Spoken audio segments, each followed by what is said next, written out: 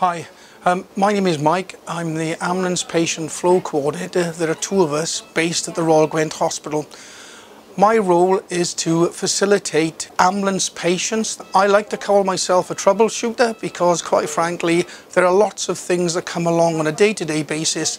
We actually offload the ambulance crews at the front door create capacity in the hospital, get the discharged patients that are waiting transport out, releasing the ambulance crew so when 999 calls come into our control, they can go and then serve the public, giving the patients here a much better experience while they're at the hospital. They assist us with um, discharges home, um, as well as admissions into the department, helping us assist patients to the ward, um, they are a communication bridge really between the emergency department and the Welsh Ambulance Service. Uh, their role massively improves the patient experience throughout the ED department.